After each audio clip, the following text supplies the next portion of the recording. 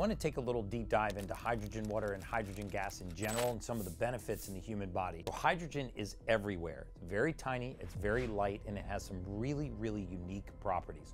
One of them is its property to act like an antioxidant and reduce inflammation. When we look at the evidence on hydrogen water because there are a lot of pundits out there saying that hydrogen gas in water has no effects in the human body. Nothing could be further from the truth.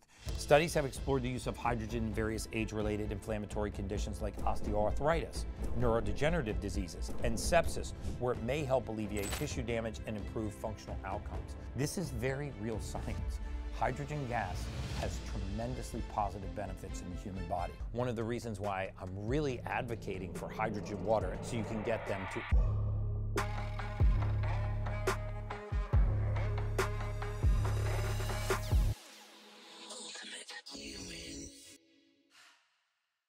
Hey guys, I want to talk about some awesome research that I've been studying on the effects of hydrogen rich water on the human body, how it can reduce inflammation, how it can lengthen telomeres, how it can improve muscle function, brain function, short term recall, memory, sleep, and other markers of aging and general markers of inflammation. I want to take a deep dive into the science right now, so let's get to work.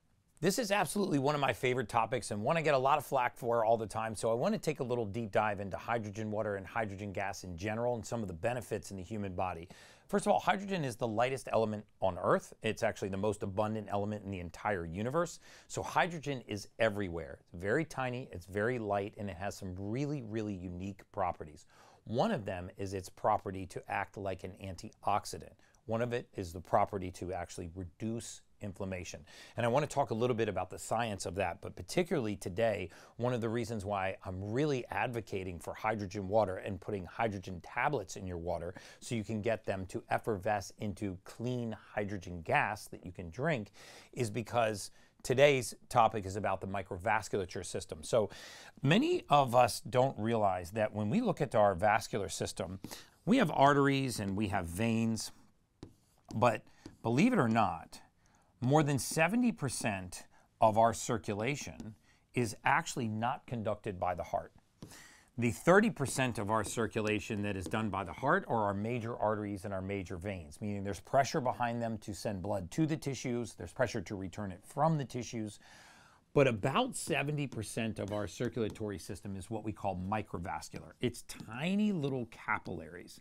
Remember, these capillaries, this microvasculature is so tiny, smaller sometimes than a human hair, that even only a single cell can fit into this capillary system and sometimes exchange gas with the lung or deliver gases to tissue, um, remove gases from the tissue.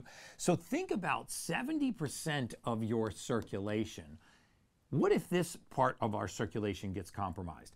Think about how little vasoconstriction it would take in 70% of your vascular system to back pressure up into the system. This is one of the reasons why we're so sensitive to high levels of homocysteine, a natural amino acid that can rise in the blood, potentially cause vasoconstriction, and drive pressure up. It's also why this part of our vascular system is hard to reach, and it's also why this part of our vascular system is so susceptible to inflammation.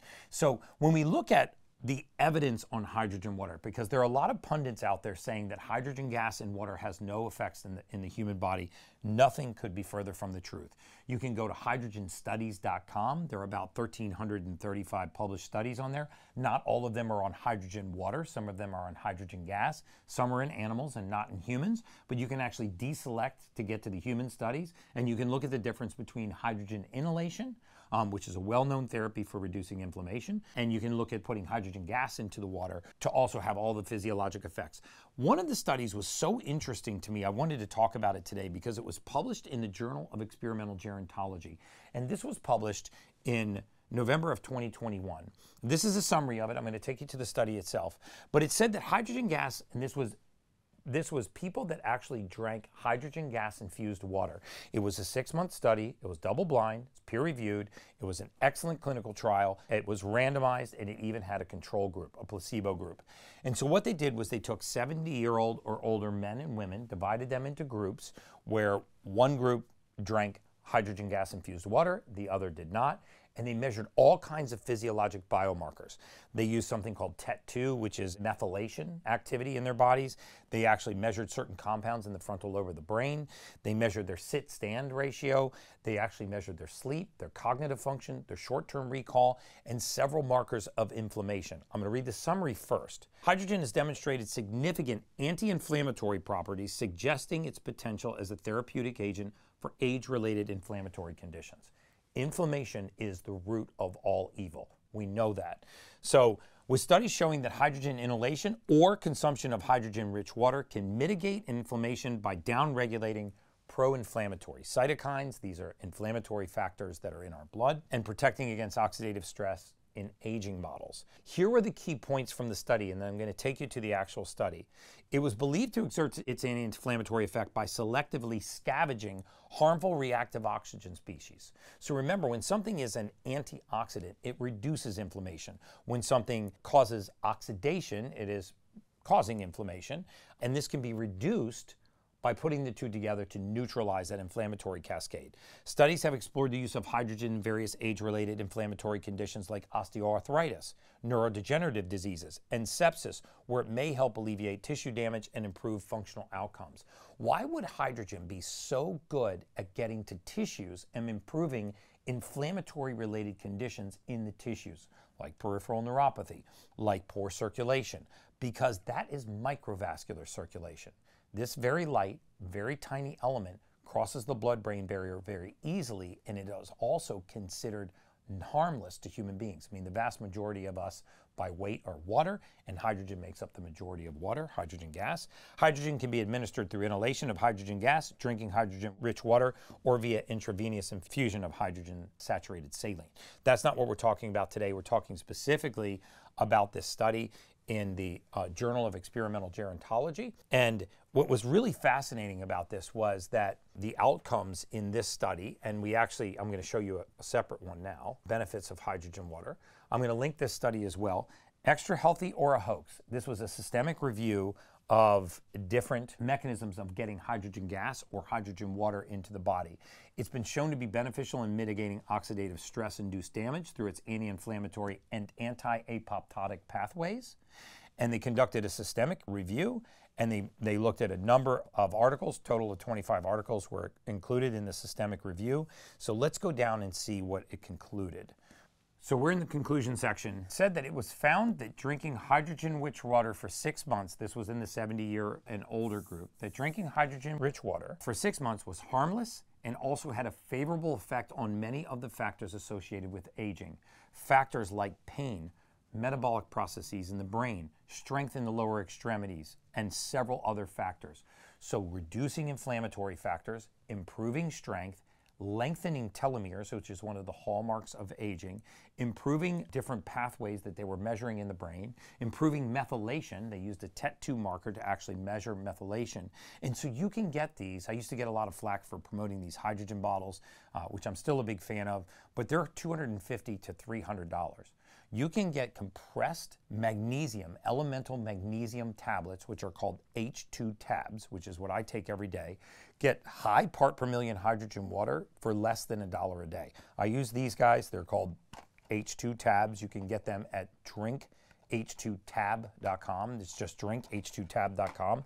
They're less than a dollar a day. You drop these in water, it effervesces into high part per million hydrogen gas, and you can get all of the benefits of hydrogen gas in a single pressed elemental magnesium tablet. They're super easy to travel with. It has probably become my favorite and number one health hack because I think everybody can benefit from hydrogen rich water. It's gained worldwide attention over the last few years for its potential health benefits. I'm to I'm to link this article. The one that I really wanted to highlight was this study that I was referencing that was published in the Journal of Experimental Gerontology. It was published in November of 2021. It was a six month hydrogen rich study where they took molecular hydrogen and they measured phenotypic biomarkers of aging in older adults. 70 years and older. The reason why I like this randomized controlled pilot trial is because the majority of this research is done in young athletes that have ankle injuries, for example, and they compared soaking the ankle in hydrogen rich water to the RICE protocol rest, ice, compress, and elevate. So they compared that to actually hydrogen soaking, and hydrogen improved these outcomes because hydrogen didn't constrict the blood vessels and stop the site of injury from removing inflammatory factors and stop it from allowing fresh blood flow, it actually improved the blood flow, especially in the microvasculature, so you actually had accelerated healing. They did the same thing putting hydrogen tablets in the buccal fold of athletes after concussions, and they looked at how they behaved and how they recovered from concussion scores, and they found that actually hydrogen helped improve the post concussion recovery phase. All of this is related to inflammation, very likely related to the circulation in the microvasculature. This is very real science. Hydrogen gas has tremendously positive benefits in the human body. When we look at the abstract here and we look at how well this study was run, and we look at what happened in the baseline control model that was only drinking uh, water versus the ones that had hydrogen rich water, methylation increased in the hydrogen rich water group. Hydrogen rich water was superior to control water to increase brain choline and NAA levels in the left frontal gray matter, significantly improved chair stand performance after hydrogen rich water intervention compared to the control group it reduced other inflammatory markers. You can actually see the exact blood biomarkers that they measured homocysteine, resting blood pressure, body composition, facial skin features, sleep outcomes, and health related quality of life, all improved by drinking hydrogen rich water. So, this is not a sales pitch. This is real sound science. A lot of people that haven't read the science, I think there's two types of people out there that those that have read the science that are taking hydrogen rich water and those that are just unaware of it. I think this is the easiest and least expensive hack that you can add to your daily routine. It's less than a dollar a day. You can get these hydrogen tablets and you drop them into water. It effervesces into the pure gas, and you can actually turn your drinking water into an antioxidant rich hydrogen bomb. So I hope you guys enjoyed this episode. Let me know if you actually like more of these whiteboard episodes. They, you know, I always said if there was money in teaching, I would have been a teacher. But here's to your health, guys. Start adding hydrogen rich water to your daily routine, and I promise you, you'll see the benefits.